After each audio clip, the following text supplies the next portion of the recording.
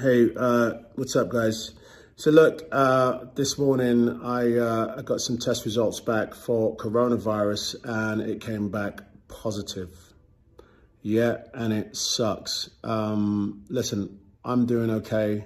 Uh, Sabrina hasn't been tested and she's doing okay. Um, I wasn't, I didn't have any symptoms. Um, I got tested because I realized I was um, exposed to someone who had also uh, tested positive.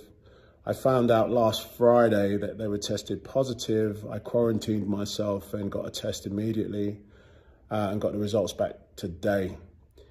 Uh, look, this is serious, you know. Now's the time to really think about social distancing, washing your hands.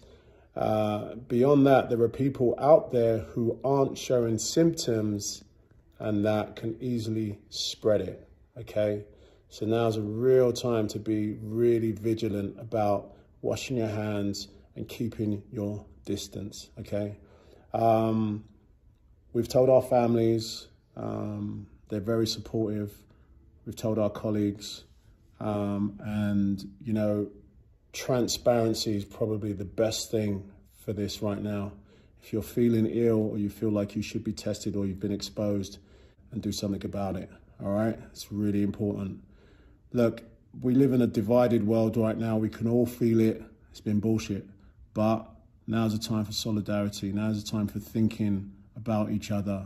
There are so many people whose lives have been affected from those who have lost people that they love to people that don't even have it and have lost their livelihoods. This is real, all right? Um, I just wanted to share my news with you guys and I will keep you updated as how I'm doing. Um, but so far, we're feeling okay. All right, man. Stay positive and don't freak out.